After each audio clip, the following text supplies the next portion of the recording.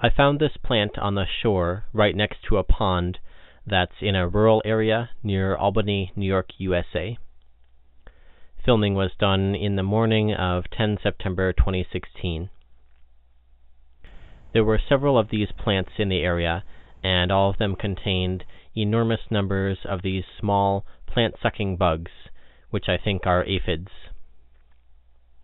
Aphids are actually true bugs belonging to the order Hemiptera. I was saddened to see so many aphids, knowing that all these bugs would die, most of them very soon in potentially painful ways. One idea for reducing wild insect suffering could be to replace these plants that feed tons of aphids with other less juicy and less insect-ridden plants. That said, in analyzing whether this change is net positive, we would also have to look at the net primary productivity of the replacement plants, since even if plants don't feed many insects while they're alive, they feed invertebrates in the soil when they decompose. For this reason, the best approach of all is to reduce net primary productivity by preventing plant growth altogether in an area. I don't know exactly what kinds of aphids these are in this video, but I'll read some general information about aphids. This page says, quote, Almost every plant has one or more aphid species that occasionally feed on it. Of course, in practice, the density of aphids may differ dramatically between plant types. None of the other plants that I saw by the pond had noticeable aphid populations. According to this page, quote, aphids are soft-bodied insects that use their piercing, sucking mouth parts to feed on plant sap. They usually occur in colonies on the undersides of tender terminal growth. Heavily infested leaves can wilt or turn yellow because of excessive sap removal. While the plant may look bad, aphid feeding generally will not seriously harm healthy, established trees and shrubs. Infestations generally result from small numbers of winged aphids that fly to the plant and find it to be a suitable host. They deposit several wingless young on the most tender tissue before moving on to find a new plant. The immature aphids or nymphs that are left behind feed on plant sap and increase gradually in size. They mature in 7 to 10 days and then are ready to produce live young. Usually all of them are females and each is capable of producing 40 to 60 offspring. The process is repeated several times, resulting in a tremendous population explosion. Less than a dozen aphid colonizers can produce hundreds to thousands of aphids on a plant in a few weeks. Aphid numbers can build until conditions are so crowded or the plant is so stressed that winged forms are produced. These winged forms fly off in search of new hosts, and the process is repeated.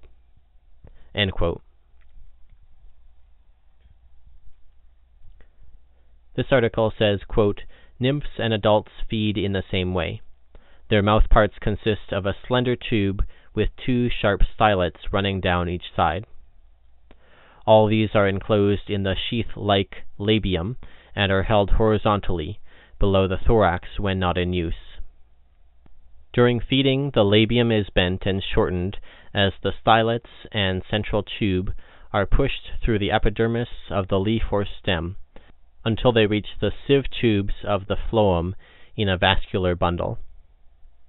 Saliva is injected through the puncture to begin the digestion of the sap and cytoplasm, and the fluids are then pumped up by muscular movements of the gullet into the alimentary canal. The fluid pressure existing in most plant cells probably assists the flow of liquid through the aphid's mouth parts. Most aphids seem to take in from the plant sap more sugar than they can assimilate, so that their feces consist of a sweet syrup, honey dew, that is passed out of the anus. This article says regarding aphids, quote, the basis for this extraordinary productivity is a method of feeding, tapping the plant's own nutrient sap stream in the phloem sieve tubes. In a turgid plant, this sap is under pressure, and when the rostra of feeding aphids of various types were severed, sap was observed to exude from the stylet stumps left in the plant. Mittler found that the rate of exudation was not appreciably less than the rate of honeydew output by intact T. salignus feeding on the same willow stems. T. salignus is a type of aphid. Quote, sucking insects, unquote, thus appears to be a misnomer for most aphids, and to imply an underestimation of their parasitic status. A cell tapped by T. salignus is refilled by its neighbors approximately hundred thousand times per hour. The work done by this remarkable and little understood pump in the plant accounts for the very high rates of food ingestion recorded for some aphids, compared with some of the most voracious of chewing insects. The table shown here is taken from this paper and illustrates the high rates of food ingestion by aphids. I saw an ant crawling on the aphid-infested plants and in the grass. I don't know if the ant was collecting honeydew from the aphids or if it just happened to be here.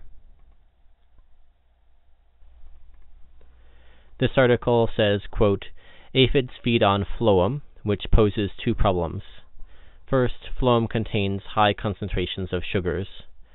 To avoid being literally sucked dry by the high osmotic potential of phloem fluid, aphid guts convert the abundant simple sugars into long-chain oligosaccharides. Aphids then excrete the excess sugar-rich honeydew, which often attracts ants. The ants protect aphids from predators. Second, phloem fluid contains an unbalanced spectrum of essential amino acids. Thus, aphids harbor endosymbiotic bacteria, Buchnera aphidicola, which provide aphids with many essential amino acids.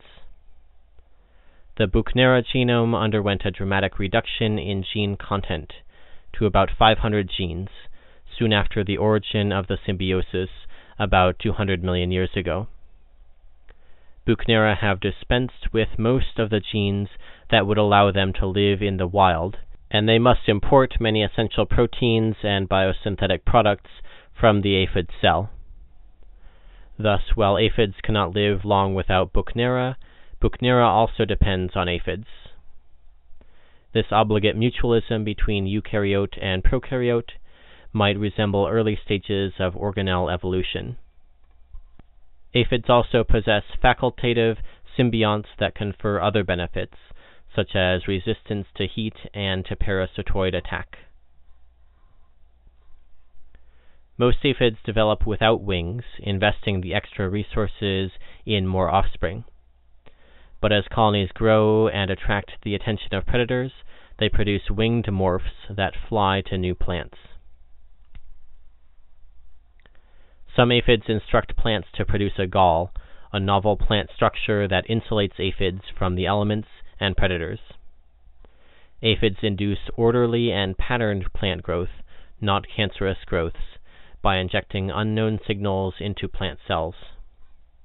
Furthermore, they can repair damaged galls caused by predators or meddlesome scientists. Again, aphids inject unknown signals into plant cells surrounding the wound, causing plant growth that mends the breach. You can see yellow spheres on the back sides of the aphids. These are defense secretions from the cornicles. According to Wikipedia, quote, the cornicle or siphuncle is one of a pair of small upright backward pointing tubes found on the dorsal side of the last segment of the bodies of aphids. These abdominal tubes exude droplets of a quick hardening defensive fluid containing triacyl glycerols called cornicle wax. This page elaborates on the cornicles, quote, These hollow tubes secrete droplets of fluid by the contraction of tiny muscles located in the abdomen under the cornicle. That contraction forces the fluid from specialized sacs that line the inside of the cornicle. For years, scientists thought this liquid was honeydew. However, it was later discovered that honeydew is a waste product that exits the body through the digestive system. It's now understood that this second liquid actually contains lipids, hemolymph, and a substance called an alarm pheromone. Alarm pheromones are chemical cues that function as a type of emergency broadcast system that other members of a group can detect. It's given off most often when there is a predator nearby. In species with long cornicles, the aphids will flex their abdomens and smear the pheromone onto the predator in the moments before death. This action ensures that wherever the predator goes on the plant, the other aphids know before it even arrives. It's plausible that aphids are less intelligent per individual than most other insects. This paper says, quote, the specialized host-exploiting form is an obligate parasite. The familiar, typically apterous, viviparous, and parthenogenetic female reproducing its like. It evolved very early in the history of the group, and the variant of it known as the fundatrix, which hatches from the fertilized egg and exploits the spring flush of growth in the host, still presents more or less obviously the greatest degree of parasitic modification.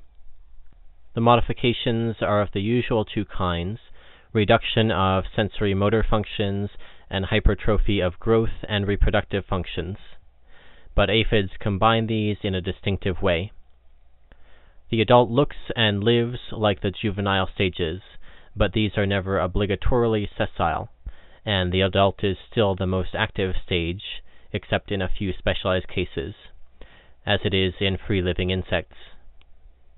In this way, the aphids keep up, to an extent varying among aphids and plants, with the constantly shifting, most favored feeding sites as plant development proceeds or disperse from overcrowded positions to new ones on the same or neighboring plants. This retention in nearly all aphids of sensory motor powers greater than those retained by most coccids and many other parasites has accompanied not lesser but greater parasitic specialization in other respects. This study reports in its abstract, quote, probing behavior of Aphis fabae Scopoli and Rhopalosiphum padi L. was tested in different stress situations normally occurring in aphid plant studies, such as interruption of feeding or starvation, transfer to a new plant, and attachment to the electrode wire. The DC electrical penetration graph EPG technique and a honeydew clock were used to collect data on behavioral effects of these stress conditions. As a general effect, an interruption of feeding behavior acted as a reset, i.e., the same sequence and time course of probing events were shown, irrespective of the interruption's duration, from 1 to 100 minutes. Nevertheless, some minor differences were found, especially in A. fabae. Increased interruption times, deprivation from the host plant, stimulated the aphids to insert their stylets earlier. When A. fabae was put back on its host plant after a one minute interruption, phloem feeding started earlier than with longer interruption times, but only when it was put back to the same plant and feeding site on which it fed before. It is concluded that this effect is at least partly due to memory of previous probing feeding experience on the plant as it vanishes with longer interruption times. This explanation also holds for phloem salivation before starting sustained sap ingestion, which was reduced on the previous feeding site but only after the one minute interruption in A. fabae. The aphid plant specificity appeared high in these effects. This article says, quote, larval and adult ladybirds eat a great many aphids, and an ichneumon parasite causes many deaths by laying its eggs in the bodies of the aphids. I'll conclude by showing a few videos made by other people of aphids being attacked by natural enemies. While the phrase biological pest control normally conjures positive associations, that abstract sounding phrase actually refers to a process that involves immense amounts of suffering.